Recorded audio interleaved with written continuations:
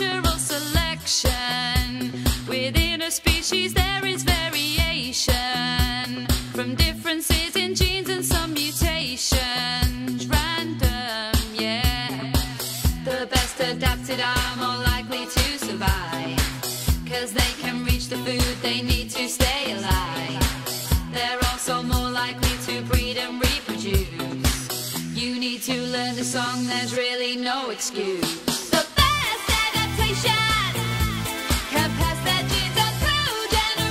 Soy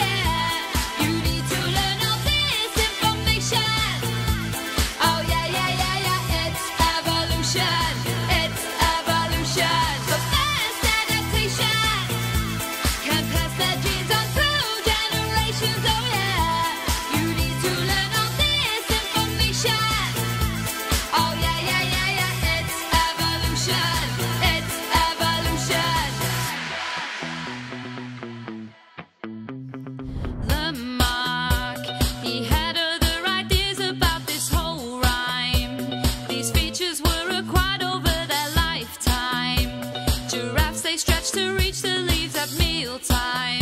Long necks grew. Then when they reproduce, they pass these features on. But lack of evidence has proved this theory wrong. We think that Darwin's right, that's what we now believe. Fossils are evidence, we cannot be deceived.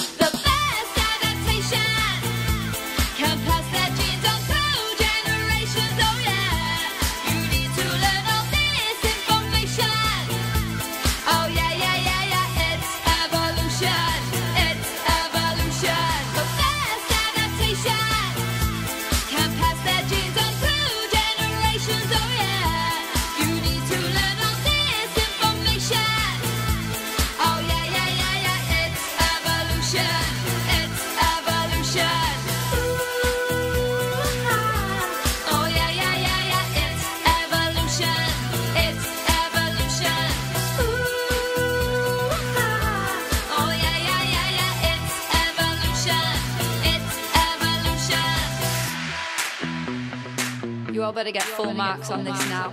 I've gone to this effort. Talk to me, child. The best adaptation